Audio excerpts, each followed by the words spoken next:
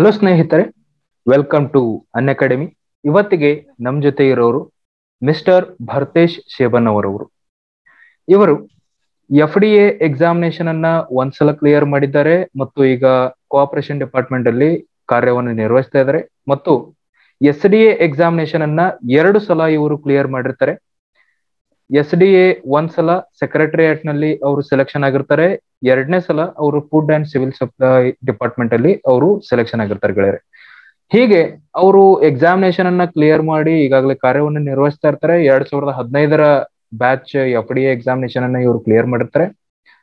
So ಅವರಿಂದ ನಾವು ಏನನ್ನ ತಿಳಿದುಕೊಳ್ಬೇಕು, ಯಾವ ರೀತಿಯಾಗಿ ಅವರು ಸ್ಟಡಿ ಮಾಡಿದ್ರು ಮತ್ತು ಅವರ ತಂತ್ರಗಳನ್ನ ತಿಳಿದುಕೊಳ್ಳೋಣ, ಅವರಿಂದಾನೆ ಬನ್ನಿ.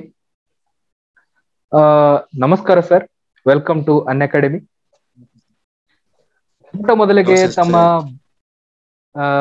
ಮೊಟ್ಟ ಮೊದಲಿಗೆ ತಮ್ಮ ಬಾಲ್ಯ ಮತ್ತು ಹಿನ್ನೆಲೆ ಬಗ್ಗೆ ಸ್ವಲ್ಪ ಮಾಹಿತಿಯನ್ನ ನೀಡಿ ಸರ್.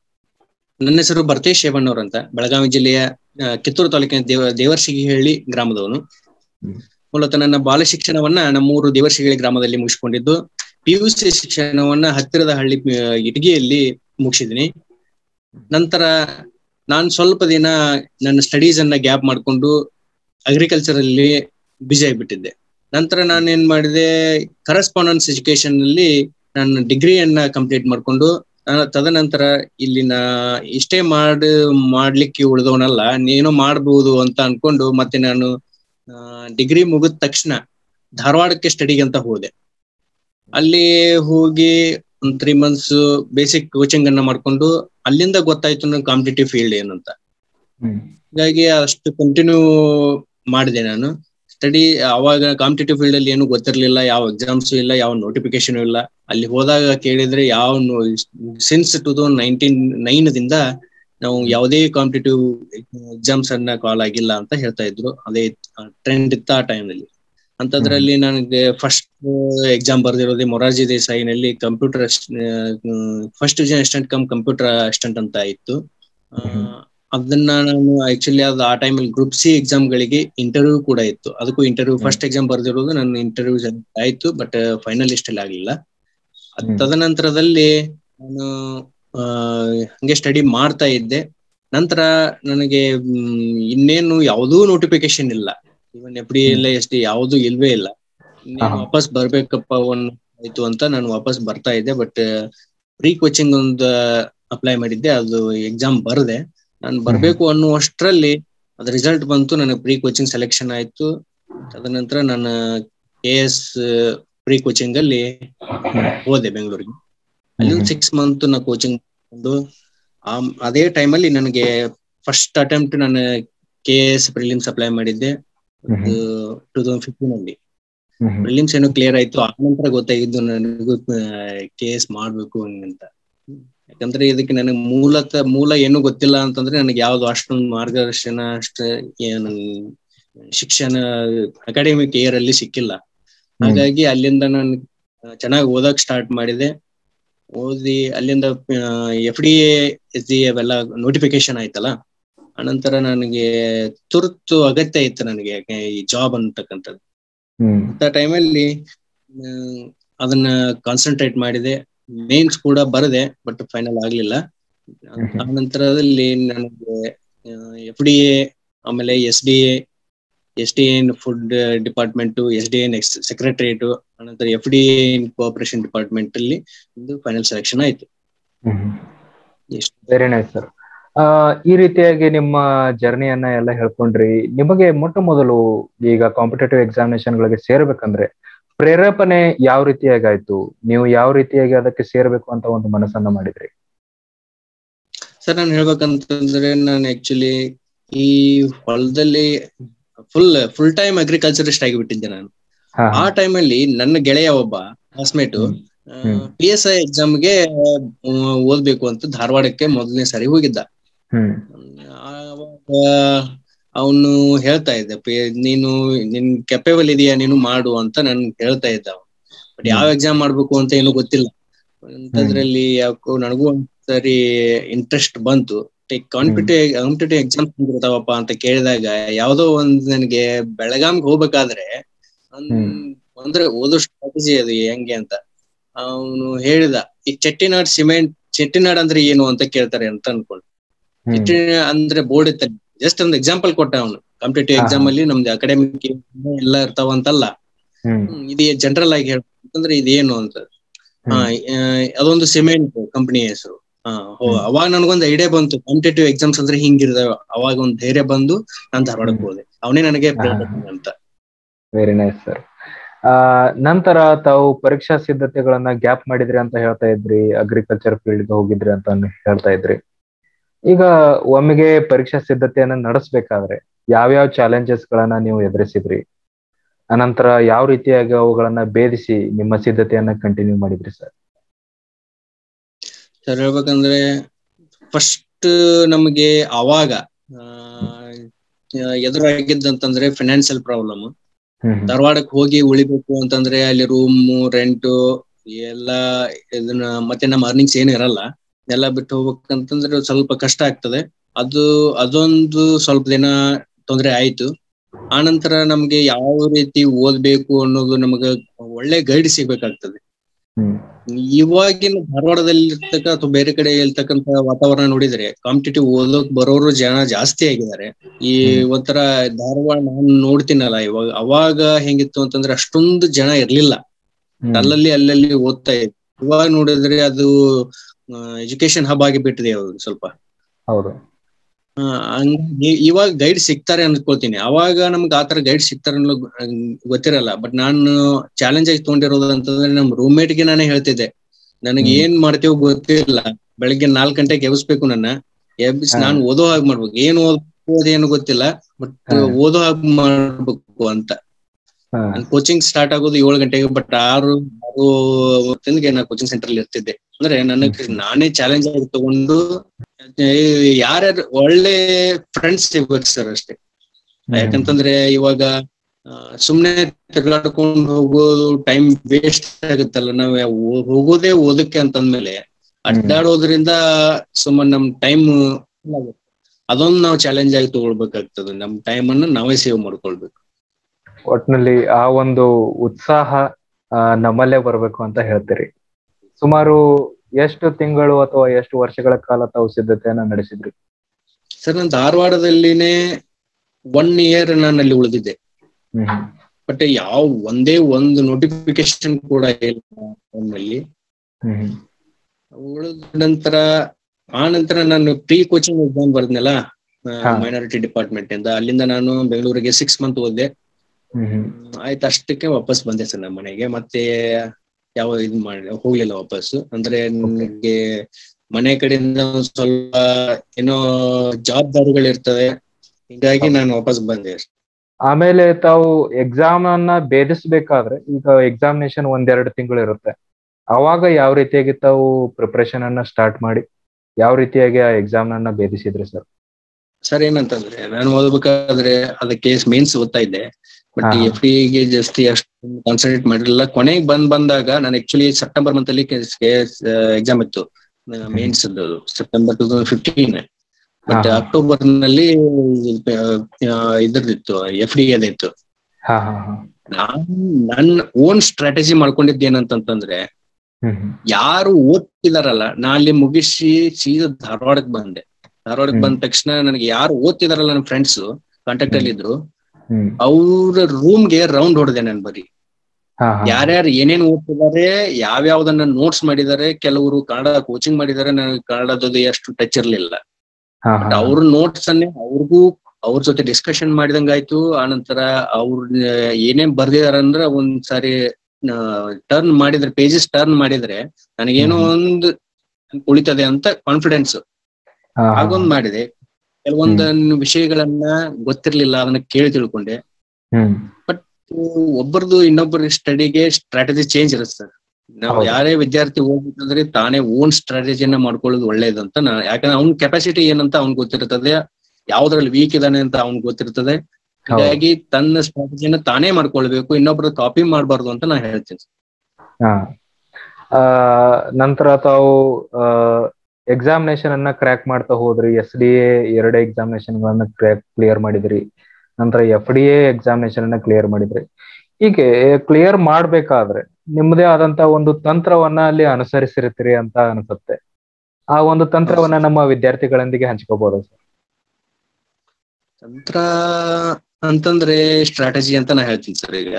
ಹ್ಮ್.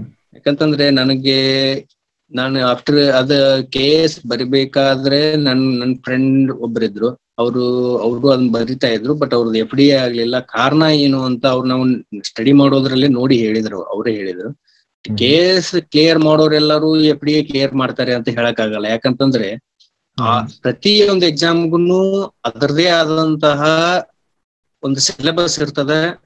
ಅನಂತರ ಅದನ್ನು ಓದೋ ಪದ್ಧತಿನೇ ಬೇರೆ ಇರ್ತದೆ. ಯಾಕಂದ್ರೆ ಅವರು ಅವ್ರದ್ದು ಯಾಕಂದ್ರೆ ಅವ್ರದ್ದು ಕೂಡ ಎಕ್ಸಾಮ್ ಕ್ಲಿಯರ್ ಆಗ್ಲಿಲ್ಲ. ಹೀಗಾಗಿ ಯಾವ ಎಕ್ಸಾಮ್ ನಾವು ಬರೀತಿದೀವಿ ಅನ್ಕೊಂಡು ಮೊದ್ಲು ಫೋಕಸ್ ಮಾಡ್ಬೇಕು. ಆ ಸಿಲೆಬಸ್ ಮೇಲೆ ಫೋಕಸ್ ಮಾಡ್ಬೇಕು ನಾವು. ಇಲ್ಲ ನಾವು ಈ ಬೇರೆ banking ಓದ್ತಿದೀವಿ F D exam S D exam ಈಸಿಯಾಗಿ ಕ್ಲಿಯರ್ ಆಗ್ಬಿಡುತ್ತೆ ಬಿಡು ಅಂತ ನಾವು ಅಷ್ಟೊಂದು ಕೇರ್ಲೆಸ್ ಮಾಡೋ ಹಾಗಿಲ್ಲ.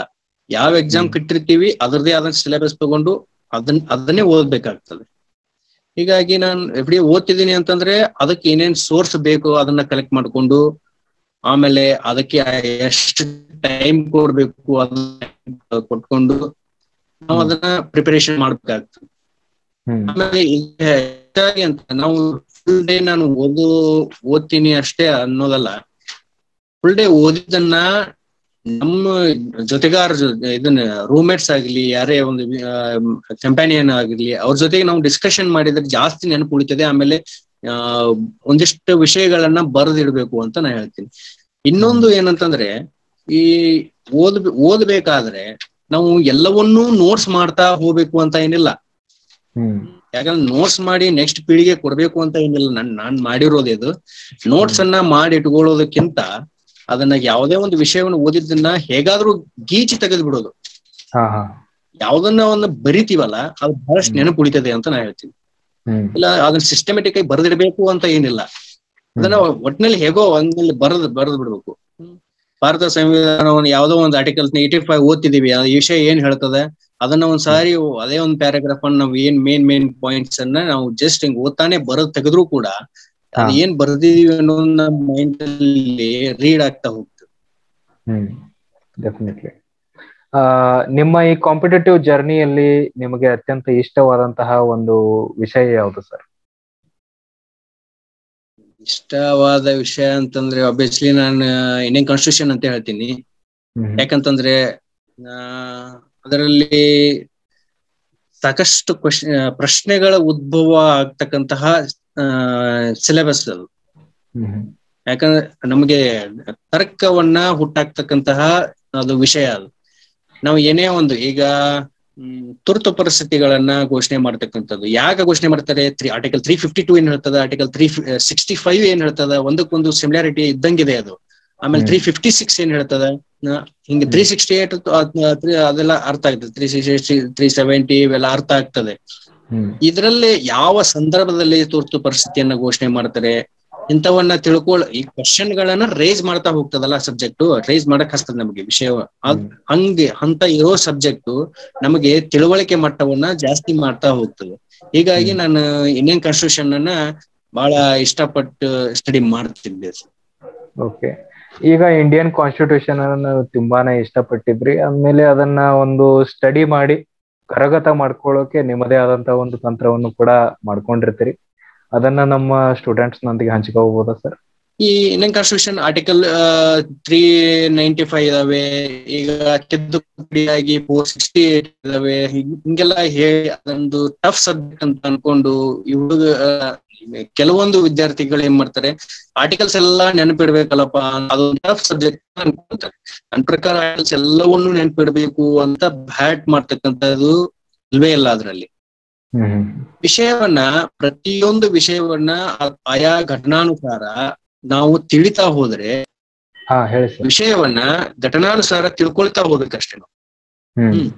ಈಗ ಈಗ ಸಂವಿಧಾನವನ್ನ ಯಾವ ಯಾವ ಸಂದರ್ಭದಲ್ಲಿ ತಿದ್ದುಪಡಿ ಮಾಡಬೇಕು ಯಾವ ವಿಧಿಯನ್ನ ಹೇಳ್ತದೆ ಅಂತ ಅನ್ನೋದು ಬೇಕಾಗಿಲ್ಲ ನಮಗೆ. ಯಾವ ಸಂದರ್ಭದಲ್ಲಿ ತಿದ್ದುಪಡಿ ಮಾಡಬೇಕು ಅನ್ನೋ ವಿಷಯವನ್ನ ತಿಳ್ಕೊಳ್ಬೇಕು. ವಿಧಿ ನೆನಪಡ್ತಕ್ಕಂಥದ್ದು ಯಾವಾಗ ಅಂತಂದ್ರೆ ಕೊನೆಯದಾಗಿ ಪೂರ್ತಿ ವಿಷಯ ತಿಳಿದ ಆದ ಮೇಲೆ ವಿಧಿ ತಂತಾಗಿ ನೆನಪುಳಿದು ಬಿಡ್ತದೆ ಅದು. ನಾವು ಫಸ್ಟ್ ವಿಧಿಯನ್ನ ನೆನ್ಪಿಡ್ತಾ ನೆನಪಿಡಕ್ ಹೋಗ್ಬಿಡ್ತೀವಿ ಅದೇ ಅದಕ್ಕೆ ಇಂಪಾರ್ಟೆನ್ಸ್ ಕೊಟ್ಬಿಡ್ತೀವಿ. ಹಾಗೆ ಮಾಡೋ ಹೋಗಿಲ್ಲ. ಆಮೇಲೆ ಇವಾಗ ಈ Kesavananda Bharati versus state of Kerala ಆಮೇಲೆ. L I C of India ಇಂಥ ಕೇಸ್ಗಳ ಬೇರುಬಾರಿ ಮೊಕದ್ದಮೆ ಇಂಥ ಕೇಸ್ಗಳಲ್ಲಿ ಯಾವ್ಯಾವ ಕೇಸ್ಗಳಲ್ಲಿ ಯಾವ ಕೇಸ್ಗಳನ್ನ ಯಾವ ಯಾವ ರೀತಿ ಹಾಕಿದ್ರು ಯಾಕೆ ಹಾಕಿದ್ರು ಹ್ಮ್. ಆಮೇಲೆ ಆ ಅದರಲ್ಲಿ ಆಗಿರ್ತಕ್ಕಂತಹ ಜಡ್ಜ್ಮೆಂಟ್ಸ್ ಯಾವುದು? ಇವನ್ನ ವಿಷಯವನ್ನ ತಿಳಿತಾ ಹೋಗ್ಬೇಕು. ಇದ್ರ ಬಹುಮುಖ್ಯವಾಗಿ Kesavan Bharati versus state of Kerala ಇದು ಬಹಳ ಇಂಪಾರ್ಟೆಂಟ್ ಯಾಕಂದ್ರೆ ಮೂಲ ಆಶಯಕ್ಕೆ ಧಕ್ಕೆ ಬರದೆ ನಾವು ಸಂವಿಧಾನದ ಪೂರ್ವ ಪೀಠಿಕೆಯನ್ನ ತಿದ್ದುಪಡಿ ಅದನ್ನು ಕೂಡ ತಿದ್ದುಪಡಿ ಮಾಡಬಹುದು ಅಂತ ಹೇಳ್ತಕ್ಕಂತ ಒಂದು ಜಜ್ಮೆಂಟ್ ಅದು. ಹಿಂಗಾಗಿ ನಾವು ಅದನ್ನ ವಿಷಯವನ್ನ ತಿಳಿತಾ ಹೋಗ್ಬೇಕು. ನೈನ್ಟೀನ್ ಸೆವೆಂಟಿ ತ್ರೀ ಇಷ್ಟು ತಿಳ್ಕೊಂಡ ಮೇಲೆ ಅದು ಯಾವಾಗ ಆಯ್ತು? ನೈನ್ಟೀನ್ ಸೆವೆಂಟಿ ತ್ರೀ ಇಸ್ವಿ ಆಟೋಮೆಟಿಕಲಿ ನಮಗೆ ನೆನಪುಳಿತದೆ ಆಮೇಲೆ ಪಕ್ಷಾಂತರ ನಿಷೇಧ ಕಾಯ್ದೆ ಅಂತಕ್ಕಂಥದ್ದು ಹತ್ತನೇ ಶೆಡ್ಯೂಲ್ ಹೇಳ್ತದ. ಆ ಪಕ್ಷಾಂತರ ನಿಷೇಧ ಪದ್ಧತಿ ಅಂದ್ರೆ ಏನು? ನಮಗೆ ಕಾಣಿಸ್ತಕ್ಕಂಥ ರಾಜಕೀಯ ಸರ್ಕಾರದಲ್ಲಿ ನಮ್ಮ ಪ್ರಜಾಪ್ರಭುತ್ವ ಸರ್ಕಾರದಲ್ಲಿ ಈ ರಾಜಕೀಯ ಬೆಳವಣಿಗೆ ಆಗಾಗ ನೋಡ್ತಾ ಇರ್ತೀವಿ ನಾವು. ಇವಕ್ಕ ಈ ಓದ್ತಕ್ಕಂತಹ ಸಿಲೆಬಸ್ ಅನ್ನ ಇಲ್ಲಿ ನಾವು ಅಪ್ಲೈ ಮಾಡ್ತಾ ಹೋಗ್ಬೇಕು ನಾವು ಡೇ ಟು ಡೇ ಲೈಫ್ ಅಲ್ಲಿ. ಅವಾಗ ನಮಗೆ ಒಂದು ವಿಷಯವು ಒಂದೇ ಸಣ್ಣ ಚಿಕ್ಕ ಬುಕ್ ಆದ್ರೂ ಸಹ ದೊಡ್ಡ ಭಂಡಾರದಷ್ಟು ನಮಗೆ ಜ್ಞಾನ ಬರ ಬರ್ ಬರ್ತದ ಅದರಲ್ಲಿ. ಹೀಗಾಗಿ ನಾವು ವಿಷಯವನ್ನ ತಿಳ್ಕೊಳ್ಬೇಕು ಹೊರತು ಯಾವುದನ್ನು ಬಹಾಟ್ ಮಾಡಬಾರದು ಅಂತ ನಾ ಹೇಳ್ತೀನಿ. Okay sir.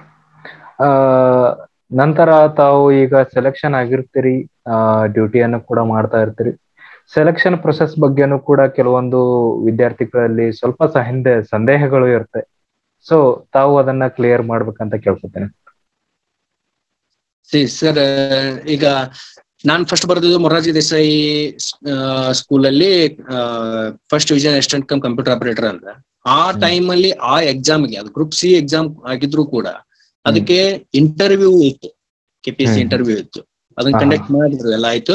ಬಟ್. ಅದೇ ಸಂದರ್ಭದಲ್ಲಿ ಇನ್ ಗ್ರೂಪ್ ಸಿ ಎಕ್ಸಾಮ್ ಗಳಿಗೆ ಇಂಟರ್ವ್ಯೂ ಇಲ್ಲ ಅಂತ ಹೇಳಿದ್ರು. ಅದನ್ನ ಕ್ಯಾನ್ಸಲ್ ಮಾಡಿದ್ರು ಸೆಂಟ್ರಲ್ ಆರ್ಡರ್ ಆಯ್ತು. ಹೌದು. ಸೊ ಈಗ ತಿಳ್ಕೊಳ್ಬೇಕಾದಂತದೇನು ಗ್ರೂಪ್ ಸಿ ಮತ್ತು ಗ್ರೂಪ್ ಸಿ ಎಕ್ಸಾಮ್ಗಳಿಗೆ ಯಾವುದೇ ರೀತಿಯ ಇಂಟರ್ವ್ಯೂ ಇರಲ್ಲ. ಸರಿನಾ? ಇದು ಎಂ ಸಿ ಕ್ಯೂಗಳ ಮಾತ್ರ ಇರ್ತದೆ. M C Q exam system ಇರ್ತದೆ. ನಾವು ಈ ಗ್ರೂಪ್ ಸಿ ಎಕ್ಸಾಮ್ಗಳಿಗೆ ಕಂಪ್ಯೂಟರ್ ಕನ್ನಡ ಅವ್ರ ಇಂಗ್ಲಿಷ್ ಆನಂತರ ಜನರಲ್ ನಾಲೆಜ್ ಅಂತಕ್ಕಂಥ ಪತ್ರಿಕೆಗಳಿರ್ತವೆ. ಆನಂತರ ಈಗ F D A S D A ಆಗಿದ್ರೆ ಅವುಗಳಿಗೆ ಈ ಕನ್ನಡ ಆರ್ ಇಂಗ್ಲಿಷ್ ಪೇಪರು ಆನಂತರ ಜನರಲ್ ನಾಲೆಜ್ ಕಂಪ್ಯೂಟರ್ ಎಕ್ಸಾಮ್ ಇರಲ್ಲ. ಹೀಗಾಗಿ ನಾವು ಈ exam system system of exam ಅನ್ನೋದನ್ನು ಫಸ್ಟ್ ತಿಳ್ಕೊಳ್ಬೇಕಾಗ್ತದೆ. ಆನಂತರ ಆ ಪ್ಯಾಟರ್ನ್ ಏನಿರ್ತದೆ ಆನಂತರ ಸಿಲೆಬಸ್ ಏನಿರ್ತದೆ ಇದನ್ನ ಫಸ್ಟ್ ನಾವು ಸಿಲೆಬಸ್ ಓದಿದ್ರೇನೆ ಒಂದು ಟ್ವೆಂಟಿ ಟು ಥರ್ಟಿ ಪರ್ಸೆಂಟ್ ನಾವು ಜ್ಞಾನಾರ್ಜನೆ ಆದಂಗನೆ ಅದ್ರಾಗ ಅದಕ್ಕೆ. ಸಿಲೆಬಸ್ ಕ್ಲೀನ್ ಆಗಿ ತಿಳ್ಕೊಳ್ಬೇಕು. ಯಾವ್ದನ್ನ ನಾವು ಕೊಟ್ಟಿದ್ದಾರೆ ಸುಮ್ ಸುಮ್ನೆ ಎಲ್ಲವನ್ನೂ ಬುಕ್ ತಂದು ಪಾಲಾಕ್ಷ ಒಂದು ಓದ್ಬೇಕು ಕೆ ಡಿ ಬಸ್ ಬಸ್ಸು ಇದು ಸದಾಶಿವ ಓದ್ಬೇಕು ಡಿ ಡಿ ಬಸ್ಸು ಓದಬೇಕು ಆಮೇಲೆ ಗಂಗಾಧರ್ ಓದ್ಬೇಕು ಎಚ್ ಎಂ ರಾಜಶೇಖರ್ ಓದ್ಬೇಕು ಮೂರು ಬುಕ್ ಓದಕ್ಕಾಗುತ್ತಾ? ಟೈಮ್ ಬರಲ್ಲ ಅಷ್ಟು. ಹೀಗಾಗಿ ಸಬ್ಜೆಕ್ಟ್ ಈ ಸಿಲೆಬಸ್ ಏನ್ ಕೊಟ್ಟಿರ್ತಾರ ಅನ್ನೋದನ್ನ ಫಸ್ಟ್ ತಿಳ್ಕೊಳ್ಬೇಕು. ಇಷ್ಟು ತಿಳ್ಕೊಂಡ ನಂತರ ಯಾವ ಬುಕ್ ಓದ್ಬೇಕು ಅನ್ನೋದನ್ನ ಗೊತ್ತಾಗ್ತದೆ. ಹೀಗ್ ಮಾಡೋದ್ರಿಂದ ಈ ಇನ್ ಟೈಮ್ ನಮಗೆ ಜಾಸ್ತಿ ಟಿ ಆ ಹುಡುಗರು ಏನಂತಾರೆ ನೋಟಿಫಿಕೇಶನ್ ಆಗಿ ಒಂದೇ ತಿಂಗಳಲ್ಲಿ ಎಕ್ಸಾಮ್ ಇಟ್ರು ನಮ್ಗೆ ಟೈಮೇ ಸಿಗ್ಲಿಲ್ಲ. ಇದೆಲ್ಲ ಶುದ್ಧ ಸುಳ್ಳು ಅಂತ ಹೇಳ್ತೀನಿ ನಾನು. ಹಾ ನಾವೊಂದು ಸ್ಟ್ರಾಟಜಿ ಮಾಡ್ಕೊಂಡು ಟೈಮ್ ಅನ್ನ ಕರೆಕ್ಟ್ ಇದ್ ಮಾಡ್ಕೊ ಅಡ್ಜಸ್ಟ್ ಮಾಡ್ಕೊಂಡು ಹ್ಮ್ ಒಂದೇ ಬುಕ್ ಓದ್ಬೇಕು ಹಂಗ್ ಕ್ಲೀನ್ ಆಗಿ ಓದ್ಬೇಕು. ಒಂದು ಒಂದು ಒಂದು ಲೈನ್ ಅಲ್ಲಿ ಒಂದು ವಾಕ್ಯದಲ್ಲಿ ಒಂದು ಹತ್ತು ಕ್ವಶನ್ ಗಳನ್ನ ರೈಸ್ ಮಾಡ್ಬೋದು ನಾವು. ಕಾನ್ಸ್ಟಾಂಟಿನೋಪಲ್ ನಗರ ಫಾರ್ ಎಕ್ಸಾಂಪಲ್ ಕಾನ್ಸ್ಟಾಂಟಿನೋಪಲ್ ನಗರವನ್ನ ಸಾವಿರದ ಸಾವಿರದ ನಾಲ್ಕನೂರ ಐವತ್ ಮೂರರಲ್ಲಿ ಅಟೋಮನ್ ಟರ್ಕರು ವಶಪಡಿಸಿಕೊಂಡಿರುವಂತ ಒಂದೇ ಒಂದು ವಾಕ್ಯ ಇದೆ. ಬಟ್. ಅದರಲ್ಲಿ ಕ್ವಶನ್ ಯಾವ ವರ್ಷದಲ್ಲಿ ಆ, ವಶಪಡಿಸಿಕೊಂಡ್ರು? ಆನಂತರ ಅದನ್ನ ಯಾಕೆ ವಶಪಡಿಸಿಕೊಂಡ್ರು? ಅದು ಆ ವಶಪಡಿಸಿಕೊಂಡಿದ್ದರಿಂದ ಯುರೋಪಿಯನ್ ರಾಷ್ಟ್ರಗಳಿಗೆ ಏನ್ ಯಾವ ವಿಚಾರಕ್ಕೆ ತಳಹದಿಯಾಯಿತು?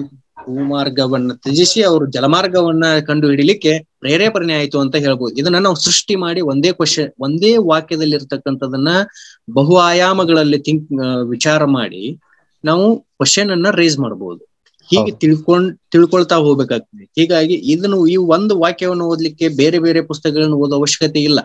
ಯಾವುದೇ ಒಂದು ಚೆನ್ನಾಗಿರೋ ಒಂದು ಬುಕ್ ಅಲ್ಲಿ ಓದ್ಕೊಂಡು ಓದ್ಬೋದು. ಆಮೇಲೆ ನಾವು ಸಾಕಷ್ಟು ವಿಷಯಗಳನ್ನ ನಾವು ಈ ಐದರ ಐದನೇ ಐದನೇ ತರಗತಿಯಿಂದ ಹನ್ನೆರಡನೇ ತರಗತಿವರೆಗೂ ಏನ್ ಸರ್ಕಾರಿ ಮುದ್ರಣಾಲಯ ಇರ್ತಕ್ಕಂತಹ ಬುಸ್ ಮ- ಪುಸ್ತಕಗಳಿದಾವಲ್ಲ ಅದರಲ್ಲಿ. ಸಾಕಷ್ಟು ವಿಷಯಗಳಿದಾವ. ಅದನ್ನೇ ನಾವು ಮಿನಿಮಮ್ ತ್ರೀ ರೌಂಡ್ಸ್ ಓದ್ಬೇಕಂತ ನಾ ಹೇಳ್ತೀನಿ. ಅನಂತರ ಬುಕ್ಸ್ ಗಳನ್ನ ಓದೋದು ಒಳ್ಳೇದು ಅಂತ ಹೇಳಿ. ಹೇಳ್ತೀನಿ ಸರ್. ಅಂದ್ರೆ ತಮ್ಮ ಅನಿಸಿಕೆ ಪ್ರಕಾರ ಆಥರ್ ಬುಕ್ ಗಳನ್ನ ಸ್ಟಾರ್ಟ್ ಮಾಡೋಕ್ಕಿಂತ ಮುಂಚೆ ಸರ್ಕಾರಿ ಪುಸ್ತಕಗಳನ್ನ ಓದ್ಕೊಳ್ಳೋದು ತುಂಬಾನೇ ಒಳ್ಳೇದು. ನಮ್ಮ ಸ್ಕೂಲ್ ಹೌದು. ಪುಸ್ತಕಗಳನ್ನ ಅಂತ ಹೇಳ್ತಾ ಇದ್ರಿ. ಓಕೆ ಸರ್ ಪ್ರಚಲಿತ ಘಟನೆಗಳ ಬಗ್ಗೆನೂ ಕೂಡ ಹಲವಾರು ವಿದ್ಯಾರ್ಥಿಗಳಲ್ಲಿ ಒಂದು ಸಂದೇಹ ಇರ್ತದ. ನಾನು ಯಾವಾಗ್ಲಿಂದ ಸ್ಟಾರ್ಟ್ ಮಾಡ್ಬೇಕು ಎಷ್ಟು ಎಷ್ಟು ತಿಂಗಳು ಹಿಂದಿಂದ ಓದ್ಬೇಕು ಮತ್ತೆ ಅದಕ್ಕೆ ಸೋರ್ಸ್ ಗಳನ್ನ ನಾನು ಯಾವ ರೀತಿಯಾಗಿ ಕಲೆಕ್ಟ್ ಮಾಡಬೇಕು ಎಲ್ಲಿಂದ ನಾನು ಓದ್ಬೇಕು ಅನ್ನೋದೇ ಒಂದು ಆ ದೊಡ್ಡದೊಂದು ಸಮಸ್ಯೆ ಆಗಿರ್ತದ. ತುಂಬಾ ನ್ಯೂ ಬೀಯಿಂಗ್ಸ್ ಗಳಿಗೆ. ಈಗ ಹಲವಾರು ವರ್ಷಗಳಿಂದ ಮಾಡ್ಕೊಂಡ್ ಬಂದವ್ರಿಗೆ ಅಥವಾ ಐದಾರು ತಿಂಗಳಿಂದ ಮಾಡ್ಕೊಂಡ್ ಬಂದವ್ರಿಗೆ ಒಂದು ಐಡಿಯಾ ಇರ್ತದ. ಆದ್ರೆ ಹೊಸ ಮ, ಹೊಸ ವಿದ್ಯಾರ್ಥಿಗಳಿಗೆ, ಹೊಸ ಸ್ಪರ್ಧಾರ್ಥಿಗಳಿಗೆ ಒಂದು ಟಫ್ ಆಗ್ತಿರ್ತದ. ಸೊ ತಾವು ಅದಕ್ಕೆ ಏನು ಸಜೆಷನ್ ನೀಡಕ್ ಇಷ್ಟಪಡ್ತೀರಿ ಸರ್ ಪ್ರಚಲಿತ ಘಟನೆಗಳು ಅಂತಕ್ಕಂಥದ್ದು ಹೆಸರಿನಲ್ಲೇ ಇದೆ ಸರ್ ಪ್ರಚಲಿತ ಘಟನೆಗಳು ಅಂತಂದ್ರೆ. ಯಾರೋ ಒಬ್ರು ನಮಗೆ ಹೇಳಿರ್ತಕ್ಕಂತ ವಿಷಯ ಅಲ್ಲ ಅದು. ಹ್ಮ್. ಪ್ರಚಲಿತ ಘಟನೆ ಅಂತಕ್ಕಂಥದ್ದು ಪ್ರತಿ ವ್ಯಕ್ತಿ ದಿನನಿತ್ಯ ನೋಡ್ತಕ್ಕಂತಹ ವಿಷಯಗಳು. ಇದು ಫಸ್ಟ್ ಕಾನ್ಸೆಪ್ಟ್ ತಿಳ್ಕೊಂಡಿರ್ಬೇಕು ವಿದ್ಯಾರ್ಥಿ. ಎಲ್ಲರೂ ಮ್ಯಾಗ್ಜಿನ್ ಅನ್ನ ಓದ್ಬೇಕು ಅಥವಾ ಬೇರೆ ಯಾವ್ದೋ ಒಂದು ಬುಕ್ ಅನ್ನು ಓದ್ಬೇಕು ಅಂತ ಅಲ್ಲ ಅದು. ಬಟ್ ನಾವು ಪ್ರತಿ ವಿಷಯವನ್ನ ನಾವು ಡೇ ಟು ಡೇ ನೋಡ್ತಾ ಇರ್ತೀವಿ. ಹ್ಮ್? ಅದು ನಮ್ ಕೆಲ್ಸಾನು ಕೂಡ ಅದು. ಯಾವುದೇ ವಿಷಯ ಇವನ್ ಈಗ ಅದು ಸ್ಥಳೀಯ ಸುದ್ದಿ ಆಗಿರ್ಬಹುದು ಅಥವಾ ರಾಜ್ಯ ಆಗಿರ್ಬೋದು ವಿದೇಶ ಆಗಿರ್ಬೋದು ರಾಷ್ಟ್ರ ಆಗಿರ್ಬಹುದು ಯಾವುದೇ ವಿಷಯವನ್ನ ಅದನ್ನ ನಾವು ಈಗ ಪ್ರಿಂಟ್ ಮೀಡಿಯಾ ಆಗಿರ್ಬೋದು ಅಥವಾ ಈ ಎಲೆಕ್ಟ್ರಾನಿಕ್ ಮೀಡಿಯಾ ಆಗಿರ್ಬೋದು ಯಾವುದೇ ಒಂದು ಇವನ್ ನಾವು ಈ- ಜನರೇಷನ್ ಕೂಡ ಫೇಸ್ಬುಕ್ ಯೂಸ್ ಮಾಡ್ತಾ ಇದೆ ಅಂತ ಅದು ಕೆಟ್ಟದ್ದಲ್ಲ. ಅದರಲ್ಲೂ ಸಾಕಷ್ಟು ವಿಷಯಗಳ ಬರ್ತವೆ ಮಾರ್ಕ್ ಜುಕರ್ಬರ್ಗ್ ಅಂತಕ್ಕಂಥವು ಕಾಣಿಸ್ಕೊಳ್ಳೋದು ನಮಗೆ ಫೇಸ್ಬುಕ್ ಅಲ್ಲೇ ಆ ವ್ಯಕ್ತಿ ಬಗ್ಗೆ ನಾವು ಅದು ಒಂದು ಪ್ರಚಲಿತ ಘಟನೆ ಕೂಡ. ಯಾಕಂತಂದ್ರೆ ಆ ಅದನ್ನ ಅಷ್ಟೊಂದು ಮೀಡಿಯಾವನ್ನ ಡೆವಲಪ್ ಮಾಡ್ಬೇಕಾದ್ರೆ ಅವ ಅವ ಒಬ್ಬ ದೊಡ್ಡ ವ್ಯಕ್ತಿನೇ. ಹ್ಮ್ ಹೀಗಾಗಿ ಪ್ರತಿಯೊಂದು ಮಾಧ್ಯಮವನ್ನು ಕೂಡ ನಾವು ಸ್ಟಡಿ ಮಾಡ್ಬೇಕಾಗ್ತದೆ. ಆಮೇಲೆ ಈಗ ಪ್ರಿಂಟ್ ಮೀಡಿಯಾ ಪತ್ರಿಕೆಗಳನ್ನ ನಾವು ಸಾಕಷ್ಟು ಪತ್ರಿಕೆ ಬರ್ತವೆ. ಕೆಲವೊಂದು ಪತ್ರಿಕೆಗಳು ಸ್ಥಳೀಯ ಸುದ್ದಿಗಳಿಗೆ ಮಾತ್ರ ಸೀಮಿತವಾಗಿದೆ ಫಾರ್ ಎಕ್ಸಾಂಪಲ್ ಈಗ ಆ ಈ ಸಂಜೆ ಆಗಿರ್ಬೋದು ಬೇಕಾದ್ರೆ ಬೇರೆ ಒಂದು ಲೋಕಲ್ ನ್ಯೂಸ್ ಇರ್ತದೆ. ನಮ್ಮ ಬೆಳಗಾವಿ ನಮ್ಮ ಹುಬ್ಬಳ್ಳಿ ಧಾರವಾಡ ಈ ತರ ಇರ್ತದೆ. ಆಮೇಲೆ ಬೇರೆ ಬೇರೆ ಸುಧಾ ಆಗಿರ್ಬೋದು ಇವು ವಾರಪತ್ರಿಕೆಗಳು ಇಂಥವೆಲ್ಲ ಇರ್ತವೆ. ಅವನ್ನೆಲ್ಲ ಓದೋ ನೆಸ್ಥಿತಿ ಇಲ್ಲ ಅಂತ ಹೇಳ್ತೀನಿ. ಆನಂತರ ನಾವು ಈಗ ರಾಷ್ಟ್ರೀಯ ಪತ್ರಿಕೆಗಳಾಗಿರ್ಬೋದು ಹ್ಮ್ ಈಗ ವಿಜಯವಾಣಿ ಪ್ರಜಾವಾಣಿ ಉದಯವಾಣಿ ಎಲ್ಲಾ ಪತ್ರಿಕೆಗಳು ಒಳ್ಳೆವೆ. ಆದ್ರೆ ನಮ್ಮ ಕಾಂಪಿಟೇಟಿವ್ ಫೀಲ್ಡ್ ಸಂಬಂಧಪಟ್ಟಂತಹ ವಿಷಯಗಳನ್ನ ಜಾಸ್ತಿ ಯಾವ್ದ್ರಲ್ಲಿ ಕೊಟ್ಟಿರ್ತಾರೆ ಅನ್ನೋದನ್ನ ನಾವು ಸ್ಟಡಿ ಮಾಡ್ಬೇಕು. ನಾವು ಓದ್ಬೇಕಾದ ಸಂದರ್ಭದಲ್ಲಿ ಪ್ರಜಾವಾಣಿ ಮಾತ್ರ ಒಳ್ಳೆ ಪತ್ರಿಕೆ ಅಂತ ನಾವು ಗುರುತಿಸ್ಕೊಂಡಿದ್ವಿ. ಹ್ಮ್. ಇವಾಗ. ಇತ್ತೀಚೆಗೆಲ್ಲ ವಿಜಯವಾಣಿ ವಿಜಯ ಕರ್ನಾಟಕ ಚೆನ್ನಾಗಿ ಬರ್ತಾ ಇದಾವೆ. ಎಲ್ಲಾ ಪತ್ರಿಕೆಗಳಲ್ಲೂ ಒಂದಲ್ಲ ಒಂದು ಹೊಸ ವಿಷಯಗಳನ್ನು ಕಂಡು ಈ ಪತ್ರಿಕೆಗಳನ್ನ ನಾವು ಲೈಬ್ರರಿಗೆ ಒಂದೇ ಪತ್ರ ರೂಮ್ಗೆ ಎಲ್ಲ ಪತ್ರಿಕೆಯನ್ನು ತರಿಸೋದು ಸ್ವಲ್ಪ ಕಷ್ಟ ಆದೀತು. ಇದನ್ನ ನಾವು ಪತ್ರಿಕೆಯನ್ನು ಓದ್ಬೇಕಂತಂದ್ರೆ ಲೈಬ್ರರಿಗೆ ಹೋಗೋದು ಒಳ್ಳೇದು ಅಂತ ಹೇಳ್ತೀನಿ. ಲೈಬ್ರರಿ ಹೋದ್ರೆ ಎಲ್ಲಾ ಪತ್ರಿಕೆಗಳು ಸಿಗ್ತವೆ. ನಾವು ಈ ವಿದ್ಯಾರ್ಥಿ ಸಮಯದಲ್ಲಿ ನಮಗೆ ಅರ್ನಿಂಗ್ಸ್ ಇರಲ್ಲ ಹೀಗಾಗಿ ಅಲ್ಲಿಂದ ಓದೋದು ಬೆಸ್ಟ್ ಅಂತ ಹೇಳ್ತೀನಿ. ಅಲ್ಲಿಂದ ಸೋರ್ಸ್ ನೋಟ್ಸ್ ಎಲ್ಲ ಮಾಡ್ಕೊಂಡು ಬಂದು ರೂಮ್ ಅಲ್ಲಿ ಎಲ್ಲವನ್ನು ಕನ್ಸಲ್ಟೇಟ್ ಮಾಡ್ಕೊಂಡು ಡೇಟ್ ವೈಸ್ ನಾನು ಅದನ್ನ ನೋಟ್ಸ್ ಮಾಡ್ತಾ ಇದ್ದೆ. ಹೇಗ್ ಮಾಡ್ತಾ ಇದ್ದೆ? ಬೆಳಿಗ್ಗೆ ಪತ್ರಿಕೆ ಓದಿದ್ರೆ ಅದನ್ನ ನೈಟ್ ಮಲಗಬೇಕಾದ್ರೆ ನಾನು ನೋಟ್ಸ್ ಬರಿತಾ ಇದ್ದೆ. ಯಾಕಂತಂದ್ರೆ. ಬೆಳಿಗ್ಗೆ ಓದಿಬಿಟ್ರೆ ಮತ್ತೆ ನೆನಪ ಓದಿತಲ್ಲ ಅಂತ. ನೈಟ್ ಮಲಗಬೇಕಾದ್ರೆ ಬರೆದ್ರೆ ಅದು ಮತ್ತೆ ರಿಪೀಟ್ ಆಗ್ತದೆ. ಹೀಗಾಗಿ ಪ್ರತಿಯೊಂದು ಪತ್ರಿಕೆಗಳ ನೋಟ್ಸ್ ಅನ್ನ ನಾನು ಬರೆದಿಡ್ತಾ ಇದ್ದೆ. ಡೇಟ್ ಹಾಕಿ ಬರೆದಿಡ್ತಾ ಇದ್ದೆ. ಕೊನೆಗೆ ಅದನ್ನ ಬರಿತಾ ಹೋಗೋದು ಹಂಗೆ ಡೈಲಿ ಬರಿತಾ ಹೋಗೋದು. ಯಾವಾಗ ಓದೋದು ಅಂತಂದ್ರೆ ಅದನ್ನ ಹ್ಮ್ ಅದ್- ಅದ್ರ ಜೊತೆ ಜೊತೆಗೆ ನಾವು ಮ್ಯಾಗ್ಝಿನ್ ಗಳನ್ನ ಯಾವ್ದೋ ಒಂದ್ ಮ್ಯಾಗ್ಝಿನ್ ಓದೋದು. ಹ್ಮ್ ಸ್ಪರ್ಧಾ ವಿಜೇತ ಆಗಿರ್ಬೋದು ಅವಾಗ ಸ್ಪರ್ಧಾ ಚೈತ್ರ ಕೂಡ ಬರ್ತಾ ಇತ್ತು. ಸ್ಪರ್ಧಾ. ಇವಾಗಂತೂ ಸಾಕಷ್ಟು ಬರ್ತಾ ಇದೆ. ಈಗ ಕೆ ಎಸ್ ಮೇನ್ಸ್ ಇವೆಲ್ಲ ಓದೋರಿಗೆ ಬುತ್ತಿ ಆಗಿರ್ಬೋದು ಇಂಥವೆಲ್ಲ ಬರ್ತವೆ ಚೆನ್ನಾಗಿ. ಇಂಗ್ಲಿಷ್ ಅಲ್ಲಿ ಬಟ್ ನಾವು ಕನ್ನಡ ಮೀಡಿಯಂ ಜಾಸ್ತಿ ಒತ್ತು ಕೊಡೋದ್ರಿಂದ ನಾವು ಕನ್ನಡ. ಮ್ಯಾಕ್ಸಿಮಮ್ ಓದ್ತಿದ್ವಿ. ಆಮೇಲೆ ಇಯರ್ ಬುಕ್ ಬರ್ತದೆ ಮನೋರಮ. ಅದನ್ನು. ಓದ್ಬೋದು. ಆನಂತರ ಇವು ಡೈಲಿ ಓದ್ತಾ ಹಂಗೆ ಕೊನೆಗೆ ಇನ್ನು ಎಕ್ಸಾಮ್ ನೋಟಿಫಿಕೇಶನ್ ಆಯ್ತು. ಯಾವ್ದು ಇವಾಗ ಗ್ರೂಪ್ ಸಿ ನೋಟಿಫಿಕೇಶನ್ ಆಯ್ತು ಅಂತ ಅನ್ಕೊಳ್ಳಿ. ಅಲ್ಲಿಂದ ಒಂದು ವರ್ಷ ಹಿಂದಿನ ನೋಟ್ಸ್ ಅನ್ನ ನಾವು ಕ್ಲೀನ್ ಆಗಿ ಓದ್ಕೊಳ್ಬೇಕು. ಅದು ಪ್ರಚಲಿತ ಘಟನೆಗಳಾಗ್ತದೆ ಆಮೇಲೆ ಅದಕ್ಕಿಂತ ಹಿಂದೆ ಒಂದು ವರ್ಷ ಅಷ್ಟೇ ಸಾಕು ಅಂತ ಬಿಡುವಾಗಿಲ್ಲ. ಅದಕ್ಕಿಂತ ಹಿಂದಿಂದ ಒಂದ್ ಸ್ವಲ್ಪ ಒಂದ್ ಮೂರ್ ನಾಲ್ಕು ತಿಂಗಳು ಓದ್ಕೋಬೇಕು ಅದು ಸಾಮಾನ್ಯ ಜ್ಞಾನದಲ್ಲಿ ಸೇರಿಸಿ ಕೊಟ್ಬಿಟ್ಟಿರ್ತಾನೆ. ಒಂದಕ್ಕೆ ಯಾವ್ದೋ ಒಂದು ಲಿಂಕ್ ಮಾಡ್ತಾರೆ ಅದನ್ನ. ಯಾಕಂತಂದ್ರೆ ಈ ಒಂದೂವರೆ ವರ್ಷದ ಹಿಂದೆ ಯಾರೋ ಒಬ್ಬ ಪ್ರಶಸ್ತಿಯನ್ನ ತಗೊಂಡಿರ್ತಾರೆ. ಬಟ್ ಇವಾಗ ಅವ್ರಿಗೆ ಏನೋ ಬೇರೆ ಏನೋ ಪ್ರಶಸ್ತಿ ಸಿಕ್ಕಿರ್ತಾರೆ ಇಲ್ಲ ಅಂತಂದ್ರೆ ಅವ್ರು ಏನೋ ಡೆತ್ ಆಗಿರ್ತಾರೆ. ಇಂಥದನ್ನ ಸಾಮಾನ್ಯ ಜ್ಞಾನದಲ್ಲಿ ಕ್ವಶನ್ ಅನ್ನ ಕೇಳ್ಬಿಡ್ತಾರೆ. ಹೀಗಾಗಿ ಒಂದರಿಂದ ಒಂದೂವರೆ ವರ್ಷದ ಮಟ್ಟಿಗೆ ಓದ್ಕೊಳ್ಳೋದು ಒಳ್ಳೇದು ಅಂತ ಹೇಳ್ತೀನಿ. ಆನಂತರ ಈ ಒಂದು ವರ್ಷದ ಏನಿದೆ ಅಲ್ಲ ಒಂದ್ ವರ್ಷದ ಈ ಕರೆಂಟ್ ಅವೆಂಟ್ಸ್ ಅನ್ನ ತಾನು ಬರ್ದಿರೋದು ಪ್ಲಸ್ ಒಂದು ವರ್ಷದ ಯಾವ ಒಂದು ಮ್ಯಾಗ್ಜಿನ್ ತಗೊಂಡು ಚೆನ್ನಾಗಿ ಸ್ಪೀಡ್ ಆಗಿ ಓದ್ತಾ ಹೋಗ್ಬೇಕು. ಯಾಕಂತ ಅದಕ್ಕೆ ಟೈಮ್ ಜಾಸ್ತಿ ಕೊಡೋ ಹಾಗಿಲ್ಲ. ಯಾಕಂದ್ರೆ ಪ್ರತಿ ದಿನ ನಾವೇ ಬರ್ದಿರ್ತಕ್ಕಂಥ ನೋಟ್ಸ್ ಅನ್ನ ಬರೀ ರಿವೈಂಡ್ ಮಾಡ್ಲಿಕ್ಕೆ ಅಷ್ಟೇ ಅದು. ಪ್ರಚಲಿತ ಘಟನೆಗಳ ಬಗ್ಗೆ ಒಂದ್ ಸ್ವಲ್ಪ ಜಾಸ್ತಿ ಒತ್ತು ಕೊಡ್ಬೇಕಾಗ್ತದೆ. ಅನಂತರ ಪ್ರಚಲಿತ ಘಟನೆಗಳಲ್ಲಿ ನಾವು ಎಕನಾಮಿಕ್ ಸಂಬಂಧಪಟ್ಟಂತ ವಿಷಯಗಳು ಬಹಳ ಇರ್ತವೆ. ಅದು ನಾನು ಪ್ರಜಾವಾಣಿಯಲ್ಲಿ ವಾಣಿಜ್ಯ ವಿಜಯ ಅಂತ ಇದು ವಾಣಿಜ್ಯ ವಾರ್ತೆ ಅಂತ ಬರ್ತದೆ. ಅದು ಈ ಎಕನಾಮಿಕ್ಸ್ ಕಾಂಪಿಟೇಟಿವ್ ಎಕ್ಸಾಮ್ಗಳಲ್ಲಿ ಸಂಬಂಧಪಟ್ಟಂತ ಕ್ವಶನ್ ಗಳನ್ನ ಆ ಕರೆಂಟ್ ಇವೆಂಟ್ಸ್ ಅಲ್ಲೇ ಇರ್ತಕ್ಕಂಥದ್ದನ್ನ ಜಾಸ್ತಿ ಕೇಳಿರ್ತಾವ ಹಣಕಾಸು ನೀತಿ ಪರಾಮರ್ಶೆ ಆಗಿರಬಹುದು ಎಲ್ಲರ ಆಗಿರ್ಬೋದು. ಓಕೆ ಸರ್ ಕೊನೆಯದಾಗಿ ತಮ್ಮ ಕಡೆಯಿಂದ ನಮ್ಮ ಎಲ್ಲಾ ಸ್ಪರ್ಧಾರ್ಥಿಗಳಿಗೆ ಒಂದು ಸಲಹೆಯನ್ನ ನೀಡಬೇಕಂದ್ರೆ ಏನು ಸಲಹೆಯನ್ನ ನೀಡಕ್ಕೆ ತಾವು ಇಷ್ಟಪಡ್ತೀರಿ ಸರ್ ಏನಿಲ್ಲ. ನಾ ಪ್ರತಿ ವಿದ್ಯಾರ್ಥಿನೂ ಈ ಸಂದರ್ಭದಲ್ಲಿ ಈ ಸಮಯ ಅನ್ನೋದು ಬಹಳ ಅಂದ್ರೆ ಬಹಳ ಮುಖ್ಯ ಆಗ್ತದ. ಯಾವ್ದೋ ಒಂದು ರೂಮ್ ಅಲ್ಲಿ ನಿಮ್ ರೂಮ್ ಅಲ್ಲಿ ಯಾವ ದೇವ್ರ ಫೋಟೋ ಹಾಕ್ತಿರೋ ಕೇಳಲ್ಲ. ಬಟ್ ಗಡಿಯಾರ ಮಾತ್ರ ಹಾಕ್ರಿ ಅಂತ ಹೇಳ್ತೀನಿ. ಯಾಕಂದ್ರೆ ಅದಕ್ಕೆ ಸಮಯಕ್ಕಿಂತ ದೊಡ್ಡ ಮಿಗಿಲಾದದ್ ಯಾವುದೂ ಇಲ್ಲ. ಇವತ್ತು ಒಂದ್ ಗಂಟೆ ನಾನು ಯಾರ ಜೊತೆ ಮಾತಾಡಿದೀನಿ ಹೋಯ್ತದ ಒಂದ್ ಗಂಟೆ. ಹಾಗಂತ ಮಾತಾಡ್ಬಾರ್ದು ಅಂತ ಹೇಳಲ್ಲ. ನಾನ್ ಮಾಡಿದ್ದು ಪ್ರಾಕ್ಟಿಕಲಿ ಹೇಳ್ಬೇಕಂತಂದ್ರೆ ನಾನ್ ಕೋಚಿಂಗ್ ಮುಗಿದ ತಕ್ಷಣ ಸಂಜೆ ಏಳು ಗಂಟೆಗೆ ಮನೆಗ್ ಬಂದ್ರೆ ರೂಮಿಗೆ ಬಂದ್ರೆ ಬಂದಾಗ ಯಾರು ಹಂಗೆ ಟೀ ಆಯ್ತಾ ಕಾಫಿ ಆಯ್ತಾ ಅಂತ ಕೇಳಿದ ತಕ್ಷಣ ಅವ್ರನ್ನೊಬ್ಬರ ಹಿಡ್ಕೊಂಡು ಅವ್ರ ಜೊತೆ ಡಿಸ್ಕಷನ್ ಡಿಸ್ಕಷನ್ ಯಾಕಂದ್ರೆ ಶಾರ್ಟ್ ಪೀರಿಯಡ್ ಅಲ್ಲಿ ಹೋಗ್ಬೇಕಾಗಿದೆ. ಹೀಗಾಗಿ ನೀವು ಫುಲ್ ಅದ. ಡಿಸ್ಕಷನ್ ಹೇಳಿದ್ರೆ ಒಂದು ಒಂದೂವರೆ ಗಂಟೆ ನಾನು ಬಿಡ್ತಾನೆ ಇರ್ಲಿಲ್ಲ. ಸುಮ್ನೆ ನಿಂತಲ್ಲೇ ಅವ್ರು ಕೇಳ್ಬೇಕು. ಹ್ಮ್ ಅವ್ರ ರೆಸ್ಪಾನ್ಸ್ ಮಾಡ್ಲಿ ಮಾಡದೇ ಇರ್ಲಿ.